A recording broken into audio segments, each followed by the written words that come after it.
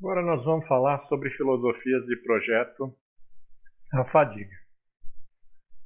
Essa parte é bastante interessante, bastante importante para o contexto do curso.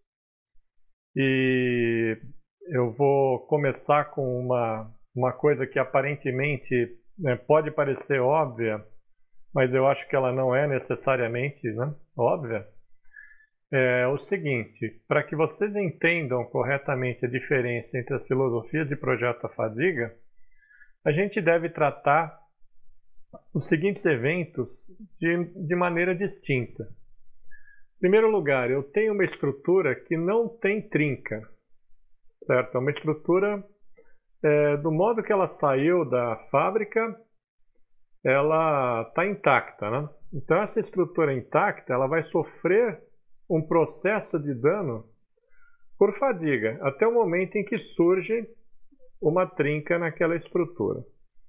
Então, é, esse evento de, de, surgimento de trinca, a gente dá vários nomes para ele, tá?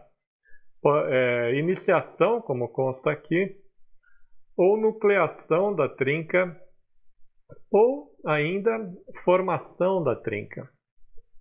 Uma vez que eu tenho uma trinca, é, uma fissura, por exemplo, uma trinca muito pequena, essa pequena trinca ela pode se propagar. Se ela continua sujeita a esse carregamento cíclico, né?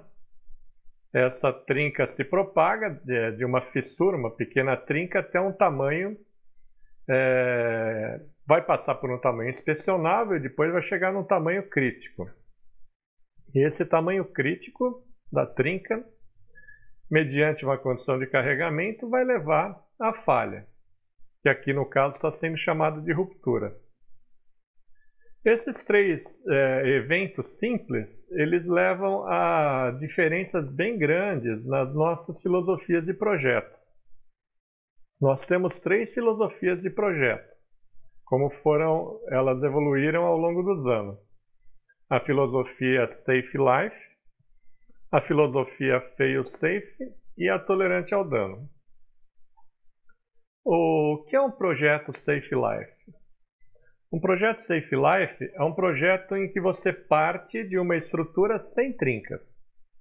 Então, é um projeto em que todos os componentes da aeronave devem permanecer isentos de trinca durante toda a vida operacional na mesma. Ou seja, ela não vai ter trinca no início, nem no começo, nem no fim. Durante todo o tempo de vida, né, no caso eu estou falando de um avião, é, ele não deve, ele é assumido que não vai surgir, não vai nuclear uma trinca naquele avião. Coeficientes de segurança são introduzidos na curva SN do material. Já que eu estou falando de fadiga, eu estou falando de curva SN, né? Nos componentes e na estrutura como um todo. Aqui eu faço uma analogia bem legal que eu tirei uma vez de, uma, de um curso de um software né, de fadiga, que é a, essa analogia das, dos banquinhos. Né?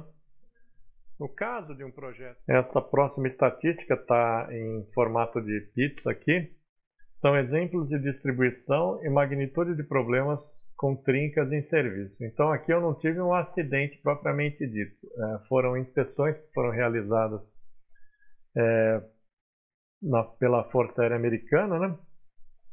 E são resultados aqui, olha a fonte, 31.429 falhas identificadas em 12 tipos de avião militar da USAF entre 1968 e 1969.